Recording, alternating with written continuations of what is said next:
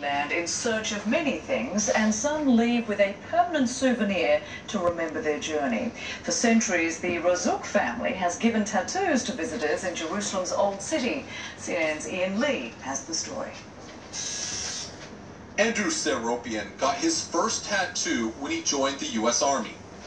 But this Armenian cross means the most for the veteran of Afghanistan. I was uh, seven meters from a rocket that blew up and no protection on it, and I took the full blast. But I believe I could have been dead or missing an arm. I do believe I was protected and blessed by God. Seropian, like pilgrims before him, made one last stop before leaving the Holy Land. For 700 years, pilgrims sought out the Razzouk family. Where the ancestors started the tradition of the tattoo. And it was, of course, no electricity was available. It was uh, done by hand. The Christian tattooing has always been used as a certificate of pilgrimage. And the only way for people to prove and get a certificate or a stamp, sort of a stamp, um, that will last forever, that they've done the pilgrimage, is by actually getting tattooed. The tattooing technique originated in Egypt and evolved over the centuries, but the designs last through the ages. We are not only old school, we can say we are ancient school. You know, we have uh, we have designs hundreds of years old. Wassim Razzouk shows me one such design carved from wood blocks.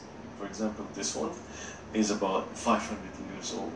This actual block was specifically was used in 1669 to tattoo a pilgrim that has documented his pilgrimage.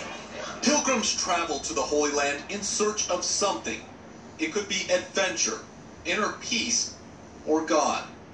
This was a really emotional journey for me um, to renew my faith, and this for me has become an external version of what I am now feeling inside, and I feel that I have a renewed and, and newfound faith that I feel is more permanent. The holy ink almost dried up. Wassim initially had no interest in the family business. This is not a tradition and a heritage that is easy to let go of, or I'm not going to be the one who's going to stop it or kill it. The mark of faith is secured for the next generation, as future pilgrims will seek out Wassim's son. Ian Lee, CNN, in Jerusalem's Old City. Rock legend Freddie Mercury is